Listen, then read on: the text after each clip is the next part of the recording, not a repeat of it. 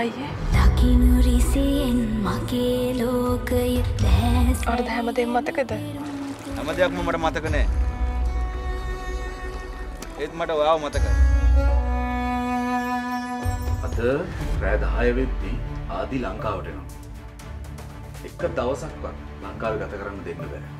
බං කෑ ගහලවත් ඕක පොඩ්ඩක් නතර කරගන්න බැරි වුණාද උඹට? අනේ තාත්තා ෂමාන්ට එහෙම දෙයක් කරේ. ෂමාන්ට මොනවද ඔයාලා කරේ? අක්ෂේ මම්මුලාව් මිනිසත්කම